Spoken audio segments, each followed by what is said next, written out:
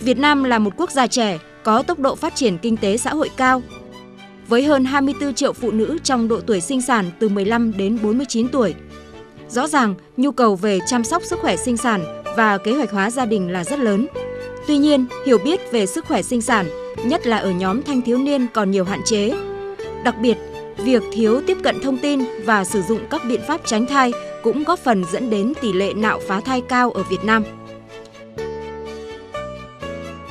Số liệu thống kê của Bộ Y tế cho biết, trung bình một phụ nữ trải qua 2,5 lần phá thai trong cuộc đời mình. Một trong những lý do dẫn tới các thực trạng đáng buồn kể trên là chất lượng các dịch vụ chăm sóc y tế còn nhiều hạn chế, đặc biệt là tại các cơ sở y tế nhà nước, nơi luôn phải đối mặt với tình trạng quá tải bệnh nhân.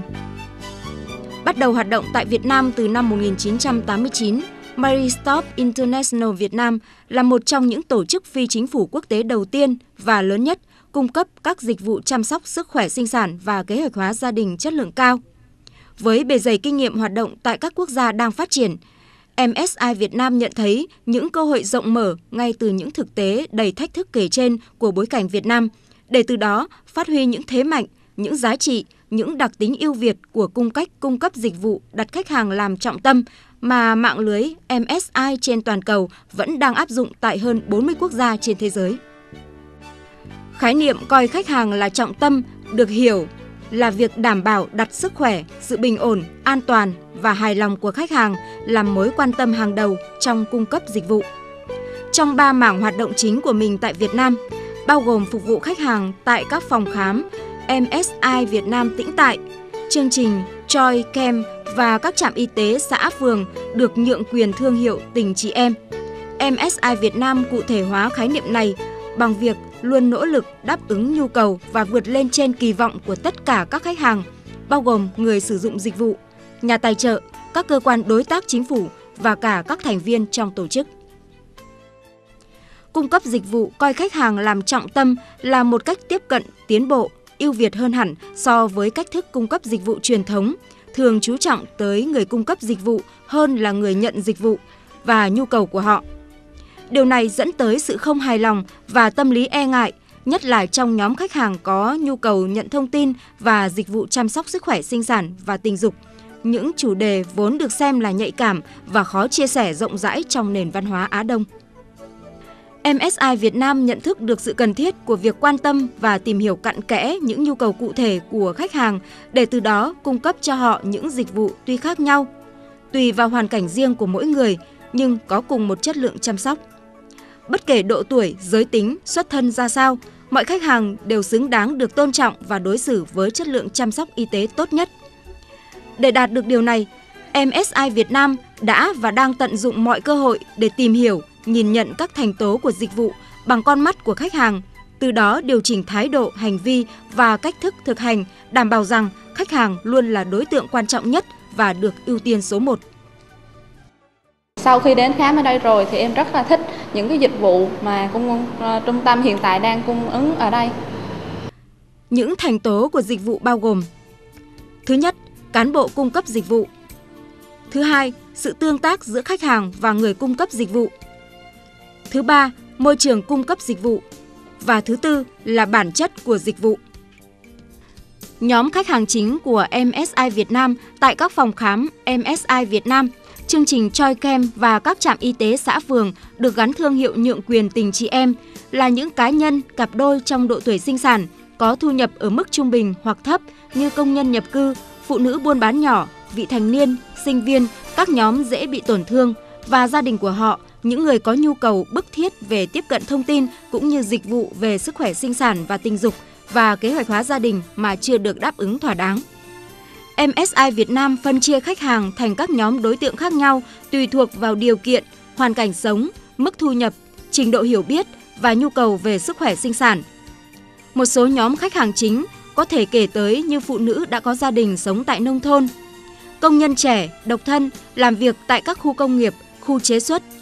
vị thành niên, thanh niên, học sinh, sinh viên, những đối tượng dễ bị tổn thương như gái mại dâm, người sử dụng ma túy, vân vân hiểu biết sâu sắc và thấu đáo về mỗi nhóm, giúp MSI Việt Nam xây dựng được những chiến lược tiếp thị phù hợp nhằm mang dịch vụ đến được với khách hàng, đáp ứng đúng nhu cầu và mong mỏi của họ. Ví dụ, đối với công nhân nhập cư làm việc trong các nhà máy ở khu công nghiệp, khu chế xuất, nhóm đối tượng luôn được ưu tiên đặc biệt trong các chiến lược phát triển tiếp thị quảng bá và cung cấp dịch vụ của MSI Việt Nam, thể hiện qua nhiều chương trình, hoạt động dự án. Đây là nhóm khách hàng có thu nhập thấp, đời sống khó khăn, hiểu biết chung về xã hội, đặc biệt là về sức khỏe sinh sản tình dục an toàn, phòng ngừa mang thai ngoài ý muốn rất hạn chế. Các hoạt động truyền thông được xây dựng thực hiện tại chính địa điểm làm việc của họ, vào giờ giải lao giữa các ca sản xuất, với những nội dung cơ bản, sử dụng ngôn ngữ dễ hiểu, gần gũi, để chắc chắn rằng họ có thể hiểu và tiếp thu, làm giàu vốn hiểu biết về chăm sóc sức khỏe sinh sản cho chính bản thân mình. Riêng những bản thân em và đối với những người công nhân là có gia đình thì rất là vui bởi vì là đi khám ở bệnh viện thì công nhân rất là đông mà cái thời gian chờ đợi thì cũng rất là lâu mà có muốn giải đáp thắc mắc gì hỏi các bác sĩ thì cũng rất là khó khăn cho nên là đi khám ở trung tâm MSI lưu động này thì công nhân rất là vui và rất là thích. Các gói dịch vụ đặc biệt cũng được thiết kế để cung cấp tại các trung tâm MSI Việt Nam tĩnh tại vào thời gian thuận tiện với mức giá cả ưu đãi, phù hợp với khả năng chi trả của nhóm đối tượng đích. Việc mang dịch vụ tới tận nơi làm việc cũng được thực hiện thường xuyên và hiệu quả với mục tiêu cuối cùng là hướng tới đáp ứng nhu cầu của đối tượng đích cũng như tăng thêm sự hài lòng của họ. Bước tiếp theo trong quá trình chuẩn hóa dịch vụ hướng tới khách hàng là việc tìm hiểu, đánh giá năng lực hiện tại và nhu cầu đào tạo cho người cung cấp dịch vụ. Từ đó, xây dựng các chương trình tập huấn toàn diện và chi tiết cho các thành viên cung cấp dịch vụ, tránh tình trạng đào tạo không đúng nội dung, không đúng đối tượng, gây lãng phí về nguồn lực của cả phía tổ chức tập huấn và người được tập huấn. Các khóa tập huấn không chỉ trang bị kiến thức, kỹ năng về chuyên môn lâm sàng, cận lâm sàng mà còn cả về hiểu biết ngoài chuyên môn như chất lượng dịch vụ, đào tạo nhu cầu cho khách hàng, kỹ năng tư vấn, giao tiếp hiệu quả với khách hàng, quản lý thương hiệu, tiếp thị và nhượng quyền xã hội vân vân. À, đội ngũ y tế ở đây chúng em cũng được đào tạo về cái à, mô hình nhượng quyền xã hội tình chị em thì chúng em cũng được uh, tập huấn qua các lớp đào tạo như uh, nâng cao chất lượng dịch vụ, tiếp thị và nâng cao chất lượng về chuyên môn thì đã trang bị cho chúng em một số cái kiến thức vô cùng là quý báu. Chẳng những chúng em vững về chuyên môn mà còn biết về thẩm mỹ như cách trang trí bày biện như thế nào để cho phù hợp để cho khách hàng khi họ vào họ cảm nhận ờ, có một bầu không khí thân thiện đầm ấm Cán bộ y tế sau khi được tập huấn sẽ thực hiện các hoạt động truyền thông, nâng cao năng lực cho cộng đồng đích tại trường học, nhà văn hóa xã, các cụm dân cư vùng sâu, vùng xa, vân vân. Nội dung truyền thông được thiết kế với sự cân nhắc kỹ lưỡng về trình độ hiểu biết, khả năng tiếp thu, nhu cầu tồn tại của đối tượng hưởng lợi. Dịch vụ chăm sóc sức khỏe sinh sản và kế hoạch hóa gia đình được cung cấp tại các phòng khám tĩnh tại của MSI Việt Nam thông qua chương trình Choi Kem hay tại các trạm y tế tình chị em với mức giá phù hợp với khả năng chi trả của đối tượng đích. Lý thuyết về coi khách hàng làm trọng tâm cũng được thể hiện từ những chi tiết nhỏ như cách thức bố trí địa điểm, bài trí cơ sở vật chất, bàn tư vấn, hình thức thực hiện truyền thông vân vân, đảm bảo tính thân thiện, kín đáo và chuyên nghiệp. Công tác tư vấn theo nhóm nhỏ hoặc cho các cá nhân riêng lẻ cũng được hết sức chú trọng nhằm tạo cơ hội cho người cung cấp dịch vụ tìm hiểu hoàn cảnh, tâm tư nguyện vọng của từng khách hàng, từ đó thiết kế được những gói dịch vụ phù hợp với mong mỏi của họ. Thu nhập phản hồi, đo lường sự hài lòng của khách hàng cũng được chú trọng thực hiện theo nhiều kênh như phỏng vấn khách hàng sau khi sử dụng dịch vụ, khách hàng bí mật, hòm thư góp ý, survey nhằm có được cái nhìn tổng thể, trọn vẹn từ nhiều góc độ. Đây là lần đầu tiên là em đến khám đây mà cảm giác em thấy là cảm giác của mình rất là thân thiện với nơi này và nó không có cảm giác là một bệnh viện nó quá xa lạ cảm giác là rất là tin tưởng ở đây. Không chỉ dừng ở việc cung cấp dịch vụ cho khách hàng, một loạt các chương trình chăm sóc khách hàng đặc biệt cũng liên tục được thực hiện với mục tiêu duy trì nuôi dưỡng mối quan hệ với khách hàng sẵn có, khách hàng trung thành và khơi gợi nhu cầu tìm kiếm các khách hàng tiềm năng.